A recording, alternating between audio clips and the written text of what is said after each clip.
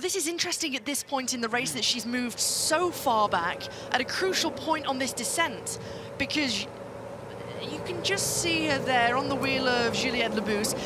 She's come to get she's come to get Vollering. She dropped back there, she's gone to get Vollering, and now Vollering is on the wheel of Lotte Kopecky, and the world champion is bringing the Dutch champion to the front right on time. Do they get on, don't they? All the talk of who'll stay, who'll go. It's all hands to the pump here. Team left turn, final Cauberg. The breakaway takes it with only 10 seconds of a gap.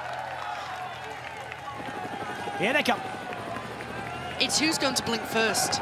Look at this. Led out by Lucinda Brand, and Spratt is on fire here. They're letting the gap go. And now Longo Borghini is on the radio to Spratt saying, you've got a move, you've got a gap. The lights have gone out in the back because the job has been done today. We've seen the world champion turn domestique, and that's that for Lotte Kopecky. But it's certainly not that for Nivia Doma or for Chabbey. Doma it is who's moving up.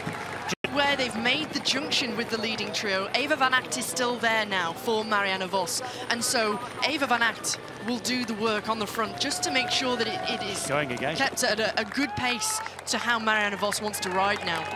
And now, look who's back. Mavi Garcia moves in. Anna Henderson is there yet again. She's having a great race today, considering she's not too many races back. Gasparrini is there for UAE ADQ, just a little bit further back, perhaps a little too far back in this group. And now this is interesting because Vollering, despite being the Dutch champion and really wanting to try and back up that victory from last year, she's on the front because she knows Wiebes can try and win here into the headwind. 500 metres to go. It looks as though we're going to have a bunch sprint at the end of a short, sharp and furious, rejigged, rearranged Amstel Gold Race following a crash earlier on today. Now then, they're being led out, and Henderson is on the wheel here of Agt. Further back is Vos, she will follow. Longo Borghini moving up, 350 metres to go. On the left-hand side, they're going to try with Canyon SRAM to do whatever they can to move up. It looks as though there's a real opportunity to do something there as well. And here goes Longo Borghini, but look at Wiebes on the right-hand side. She's moving up, she's seen the gap, she's through the gap, and Lorena Wiebes is through. Lorena Wiebes walks away with it, and it's Lorena no. Wiebes. No, no, no! Celebrating on the line, and she may well have just been pipped there. Lorena Wiebes, arms in the air, but Marianne Vos coming round. So much action entertainment, she's not sure. Of net niet. I denk van wel. She's not sure, you're right. Yeah! Oh, yes! Now she does. She'd better know it. Lorena Wiebes committing the cardinal sin of celebrating too early. It was so easy for Wiebes for a while. There we go, celebrates away, but we know it's not over till it's over. And it's half a wheel length in the end for Marianne Vos. Utter embarrassment for Lorena Wiebes. And it is all the way to the last pedal stroke. Marianne Vos wins. It's Vos, it's Wiebes, and in third place, it's Goskien. Oh my, it ain't over to the final pedal stroke. And here we go again. Just look at it a bit further back. Talk us through this, Hannah. Yeah, you can just see on the right-hand side, it's Canyon SRAM who start to open things up with Elise Chabbey, and then Elisa Longo Borghini goes on the left-hand side.